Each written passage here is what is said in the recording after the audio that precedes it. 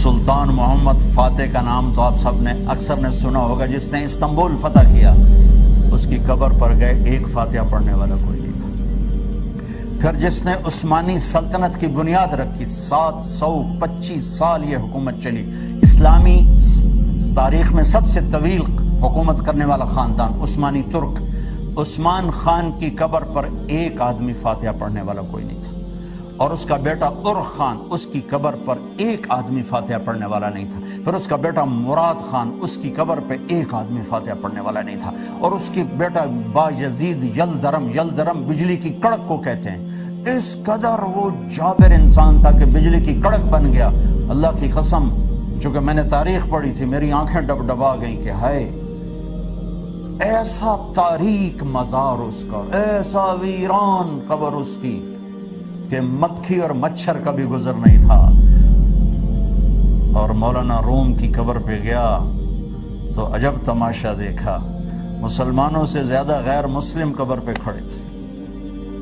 और पहला मजार देखा जिस पर टिकट लगा हुआ है, पूरी दुनिया फिर हूँ मजारों पे गया हूँ। उनको इतने विजिटर आते हैं कि वो वहाँ की वो जो कौंसल है, पूनिया की, उन्होंने वहाँ बीस लीरे का टिकट लगा दिया। साढ़े नौ सौ रुपया पड़ता है। तो नदी मौज बनी हुई। अल्लाह के दोस्त मर के भी ज़िंदा होते और बादशाह हमायूं की कब्र पे गया तो मुगलों का दस्तूर था कब्र ऊपर ऊपर मसनू कब्र होती असल कब्र नीचे तहखाने में होती वो जो गाइड था मैंने कहा मैनू उत्थे ले जाए जोड़ी असल कब्र है ये तो ऊपर बना हुआ है सही संग मरमर का है तो वो ले गया नीचे एक तंग सा रास्ता था आगे एक छोटा सा कमरा था तो टॉर्च उसके हाथ में थी। तो हमारे आगे था। मेरे भाइयों, मैंने ऐसा खौफनाक मंजर ज़िंदगी में नहीं देखा।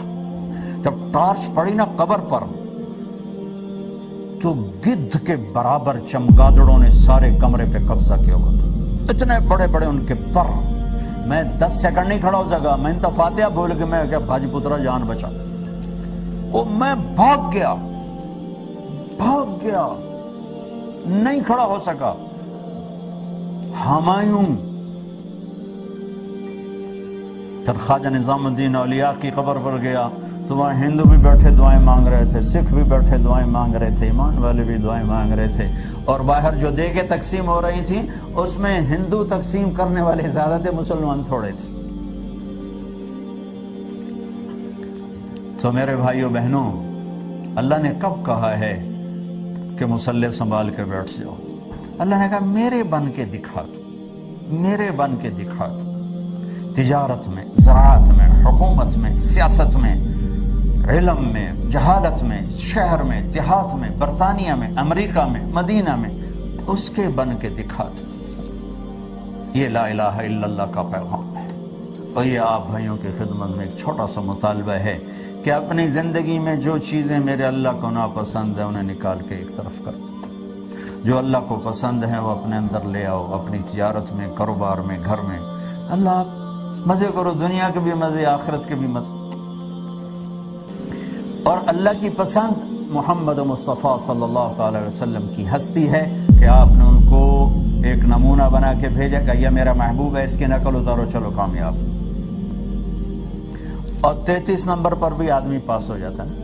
तैतीस नंबर भी ले लो तो पास हो जाता और परफेक्शन अल्लाह ने नहीं मांगी, अल्लाह पे कुर्बान जो, अल्लाह ने परफेक्शन नहीं मांगी। काउंटिंग है काउंटिंग भाई, अगर तुम्हारे इक्यावन नेकियाँ हैं और पचास गुना हैं तो हम माफ़ कर देंगे।